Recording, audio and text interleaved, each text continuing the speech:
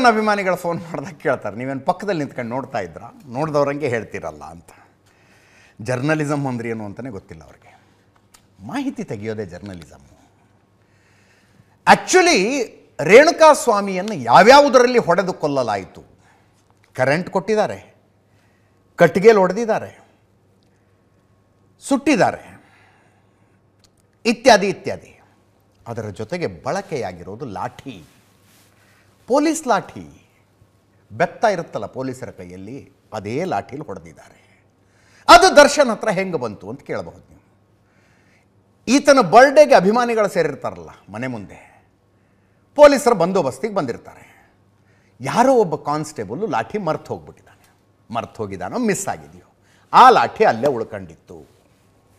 ಈ ದರ್ಶನ್ನು ಅದನ್ನು ಮನೆಯ ಸೆಕ್ಯೂರಿಟಿ ರೂಮ್ನಲ್ಲಿ ಇಡಿಸಿದ್ನಂತೆ, ಅಲ್ಲೇ ಇಟ್ಟಿರಿ.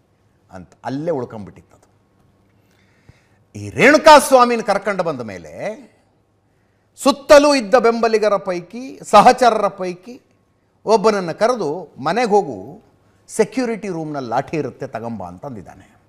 ಅವನು ಗಾಡಿ ಹತ್ಕೊಂಡು ಹೋಗಿದ್ದಾನೆ ಮನೆಗೆ. ಸೆಕ್ಯೂರಿಟಿ ಹತ್ರ ಅಣ್ಣ ಕಳಿಸಿದ್ದಾರೆ, ಲಾಠಿ ಕೊಡಬೇಕಂತೆ ಅಂದಂತೆ ಸೆಕ್ಯೂರಿಟಿ ಇದ್ದವನು ತೆಗೆದುಕೊಟ್ಟಿದ್ದಾನೆ ಲಾಠಿನ. ಆ ಲಾಠಿ ತಗೊಂಡು ಬಂದು ಇವನು ದರ್ಶನ ಕೈ ಕೊಟ್ಟ. ಅದರಲ್ಲೇ ಹೊಡೆದು ಹೊಡೆದು ಹೊಡೆದು ಹೊಡೆದು ಪ್ರಾಣ ತೆಗೆದಿದ್ದಂತು. ಹೊಡೆತಕ್ಕೆ ಮುರಿದು ಹೋಯ್ತಂತೆ ಲಾಠಿ. ಎರಡು ತುಂಡಾಗಿ ಬಿದ್ದುಬಿಡ್ತಂತೆ. ಆ ಮಟ್ಟಿಗೆ ಹೊಡೆದು ನೀವು ಬೆತ್ತ ಮುರಿಯೋದು ಅಂದ್ರೆ ಏನು ಅನ್ಕೊಂಡಿದ್ದೀರಿ ನೀವು? ಸುಮ್ಮ ಸುಮ್ಮನೆ ಮುರಿಯಲ್ಲ ಅದು. ಆ ಮಟ್ಟಿಗೆ ಹೊಡೆದಿದ್ದಾರೆ.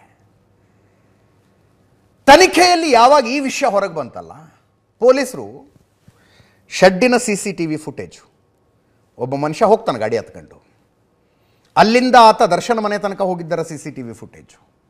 Darshan ಮನೆಯ ಸಿ ಸಿ ಟಿ ವಿ ಫುಟೇಜ್ನಲ್ಲಿ ಸೆಕ್ಯೂರಿಟಿ ಗಾರ್ಡ್ ಹತ್ರ ಲಾಠಿ ಇಸ್ಕೊಳ್ಳೋದು.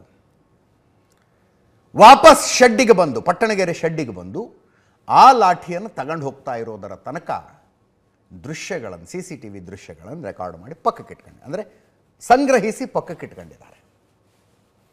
ಸ್ಥಳದಲ್ಲಿ ಲಾಠಿನೂ ಸಿಕ್ಕಿದೆ, ಮುರಿದು ಬಿದ್ದ ಲಾಠಿ ಸಿಕ್ಕಿದೆ. ಆ ಲಾಠಿಯ ಮೇಲೆ ರಕ್ತದ ಕಲೆಗಳಿದ್ದಾವೆ ಎಫ್ ಎಸ್ ಎಲ್ಲಿ ಕಳಿಸಿದ್ದಾರೆ ಅದು ರೇಣುಕಾಸ್ವಾಮಿದು ಹೌದು ಅಲ್ವೋ ಅನ್ನುವ ರಿಪೋರ್ಟ್ ಬರುತ್ತೆ. ಒಟ್ಟಿನಲ್ಲಿ ಹತ್ಯೆಗೆ ಬಳಸಲಾದ ವಸ್ತುಗಳ ಪೈಕಿ ಲಾಠಿನೂ ಒಂದಿತ್ತು.